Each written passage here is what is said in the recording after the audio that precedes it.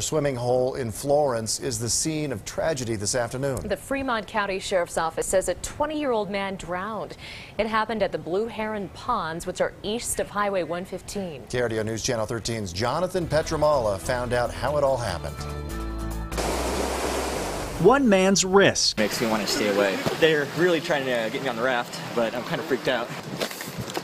is another man's rush. As long as we just, you know, stay close to the shore, we should be all right. Okay with testing out the Arkansas River swollen with snowmelt, Their luck is gonna run out. but not on this run. Exhilarating. Exhilarating. Yeah, when you get there and, you know, it's that oh crap moment where, you know, you might flip it, but it's the thrill of the ride.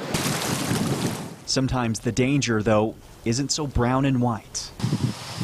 The water was very calm today. Less than a half mile from the raging Arkansas, From the shore, it probably didn't look that dangerous. a group of friends decided to swim across Blue Heron Pond, and one didn't make it out alive. And he became entangled in some very heavy vegetation that was on the surface of the pond.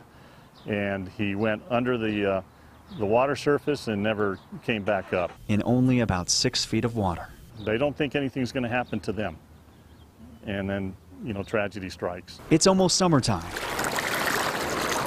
A time where the risk gets forgotten because of the reward. It's the thrill of the ride. In Florence, Jonathan Petramala, KRDO News Channel 13.